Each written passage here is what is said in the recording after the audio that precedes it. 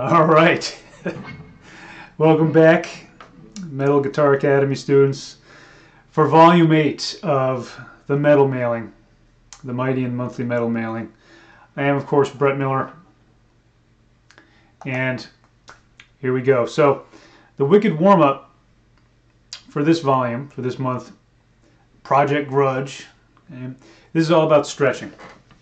This is not anything complicated, but uh, it's all about stretching, and I'm going to show it to you where it's written first, but then we're going to move it back as a challenge, okay? Uh, any kind of a stretching thing, so kind of work it back one fret at a time is, is a good challenge. So pretty much a good way to think about this, as I've outlined on the sheet itself, on the PDF, is if you think about your first finger and your pinky kind of always being on the same fret, this case it's 9th fret, 14th fret. Thumb low, of course. Hey, listen, my thumb's up here. There's no way in heck I'm going to be getting a good stretch. So you got to just, again, let that wrist kind of drape down here a little bit, right? Nothing ridiculous like that. But if your thumb's up here, you know, your wrist is going to be straighter. If you let your thumb just slide down a little bit, wrist is going to drape. So I sometimes have people just think, hey, there's a little string wrapped around your wrist or something. If someone was to pull on it, you know, you just see. I should have been a should have been a pantomime, I guess. The hell with this music stuff, right? So, for any kind of big stretch, that's really where you want your thumb to be. It's just going to physically help your fingers stretch. So, 9th fret, 14th fret, sort of the bookends here. Okay?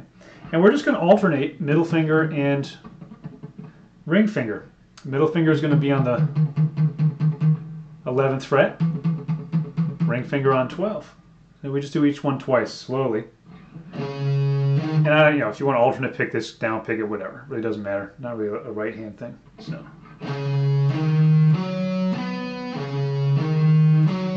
Now A string, ring finger. Back to middle. Back to ring. That's cool. Uh, know, it reminds me of like a kind of like a Dimebag Darrell. kind of a lick. I don't know, it's fun. And then back to gotta have fun with this stuff, right? Now, I'm just going to attempt to bring this back, I don't know, go all the way to like 5th fret here. So it's the exact same idea. Okay, this time going to be doing 5 and 10 and alternating these two fingers. Okay. Quite a bit more of a stretch here. Ring finger. Middle. Ring. There's that Dimebag of lick again.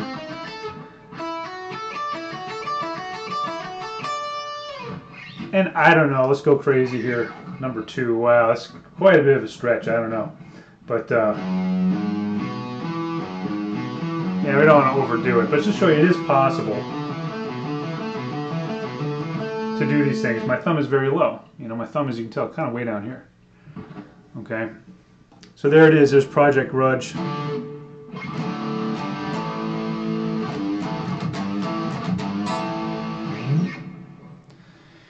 Anything like that, again, don't overdo it. You know, you probably don't want to do what I did, where you just leap down by like three or four frets.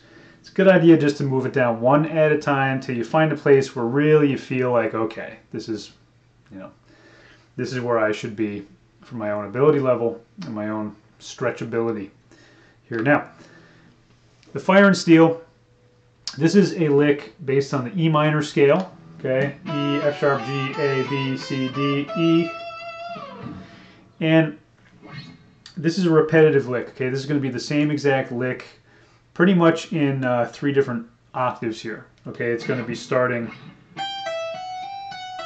there,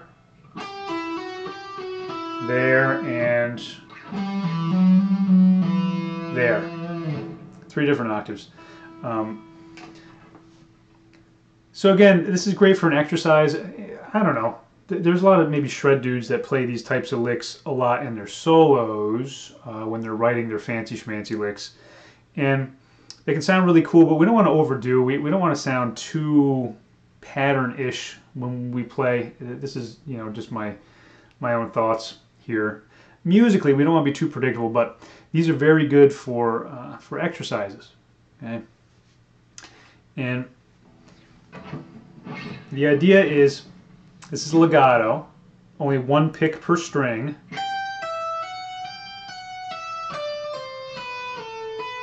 That's the whole lick. Little slide. As we play this, mentioned this before, but I'm going to mention it again. When you do pull-offs, you really want to have all three of these fingers here down. Notice I'm pressing them. First finger and ring finger stay, pinky stays. I'm now set to go. Biggest problem people have with pull-offs is they'll go to do a pull-off and like the fingers won't be down. And so it's inefficient. They get a, a pretty nasty sound with it. So you'll notice as I'm doing this, whatever notes I'm going to pull off, see I'm pulling off the first finger, that means it's there already, right? I have my pinky down, I'm going to pull to that.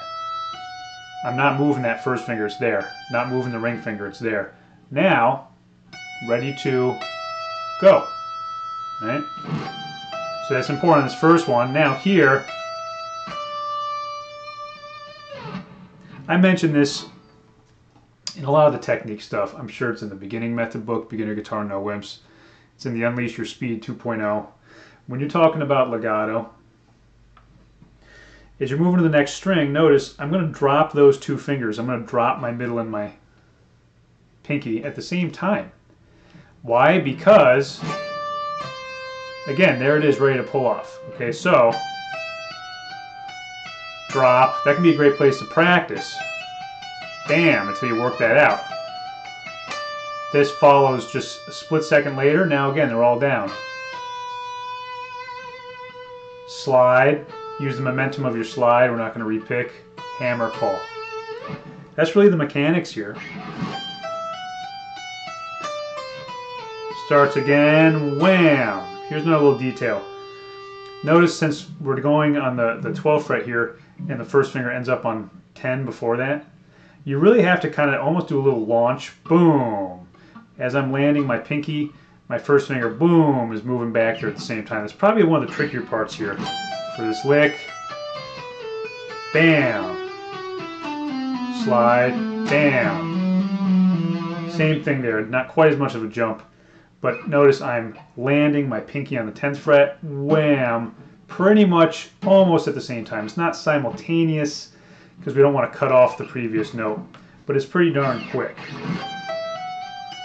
Boom, two, wham, two drop, boom. Now look what I'm doing here. Sorry. Try a little bit fast now, see if I can think of what I'm doing here. Not bad. Hardest thing about this thing is thinking ahead. Uh, I'm always trying to think ahead to my next string when I'm playing at a fast pace like that. Oopsie, I slid in the wrong place there. I find when I was looking at this for a couple minutes before doing the video here that, that that is where I would screw it up if I made a mistake. I would want to slide before I got to my next string. So that's what I tend to think ahead about. I'm just thinking generally, nope, go to that next string. Like that. I also hit the wrong note there, but did it again.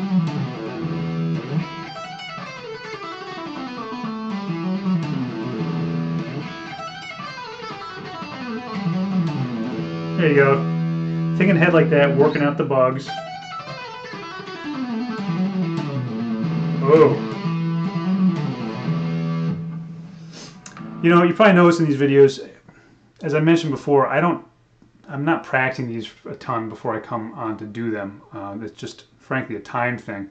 And I do like to think more about the explanation. I mean, as I mentioned, I don't care about whether I'm flawlessly, you know, performing it here to try and impress you guys, whatever. It's more about the explanation, right? But I think it is fine to watch me make some mistakes too, because that's that's life. You know, when you're learning something like this, you shouldn't expect that you're going to get it 100% at the speed you want to get it at. It's you know, it, it is important to push your tempo. I've talked about being on the edge, which is, you know, that's not so fast that somehow I can't notice if I made the mistake, right? I'm noticing exactly where I'm screwing it up. And that's important. You don't want to tamp down your tempo just to try and make it perfect if your goal is to make something faster, right? So, one more time. Not bad. So, check out those details as you do this. And I will see you next time for Volume 9. All right, guys, keep shredding.